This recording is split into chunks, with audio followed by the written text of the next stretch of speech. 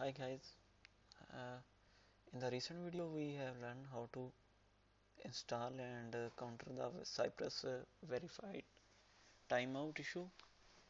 And then now we will do a basic in this tutorial. Uh, uh, this is just a, uh, any test suite is start from the describe block and any test case is start from the it block basically this is a mocha framework. We are using it and this is the structure of the mocha framework.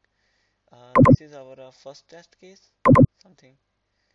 And then this is our second test case. And both test cases are in the same test suite okay. First of all we will define how to work uh, how to use a before each method in uh, Cypress before each method is basically a method which is uh, called before each test case uh, uh, in the Cypress and this will be called before each method and we will define it here something like this before before each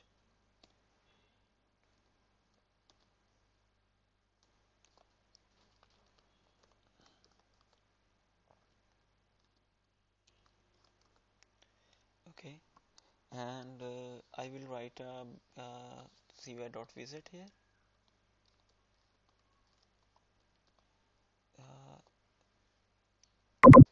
actually I, it will visit a link which we want to test before each method. And I will use all uh, this link for testing purpose. And I will automate the login page of this page. Okay. Copy from here and just paste it here. Okay. Now it should visit the that particular link and okay, I will run it here.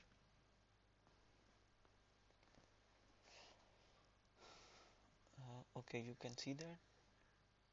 Okay before each method okay it's open and now I will automate the login page.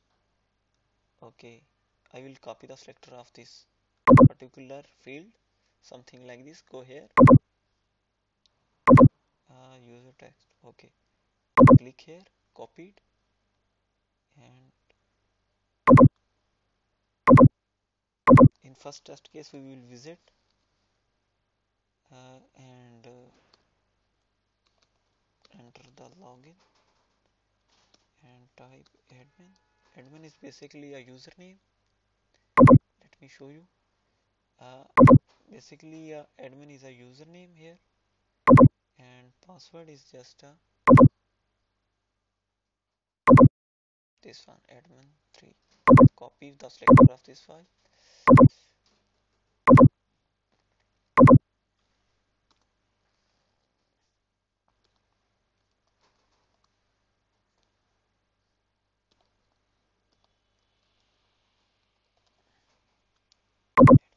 3 uh, okay. Just let me do. Uh, show you something. Uh, skip. Uh, skip is method is basically used to skip any test case or any test suite uh, in the Cypress just uh, write a dot skip uh, in like this and it will skip this whole test suite uh, test case in this test suite just it will something like this it will not execute the second one? Okay this is automatically skipped. Okay now you can see that uh, it is uh, typed here admin and uh, also password. And we will also copy the selector or id of this particular button login button and then we will copy it. And just dot click. Dot click method is simply to use a click any button or any something else like radio button or a button? Now it will log in okay. It's too fast. Okay now it's clicked. Okay you can wow. It's login and we can see our dashboard here.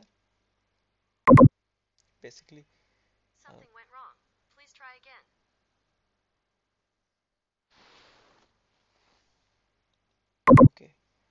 we have automated our login page here.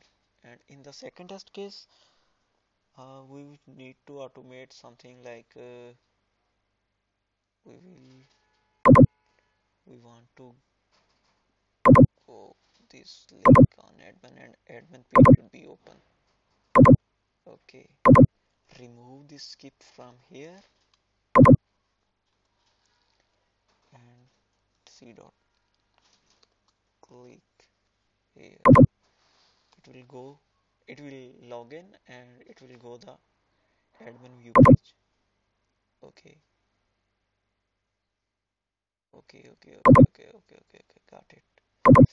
Actually it's visiting again and again this and this is the not right method. This we will also copy it from here and define it here. And copy from here. Paste it here. And now will uh, now it will okay dot skip method. Uh, why I have defined the username and password?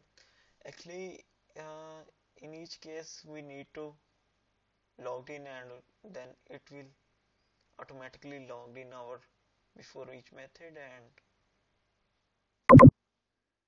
okay got it. Let me show you something. Okay it's login and go to the yeah wow.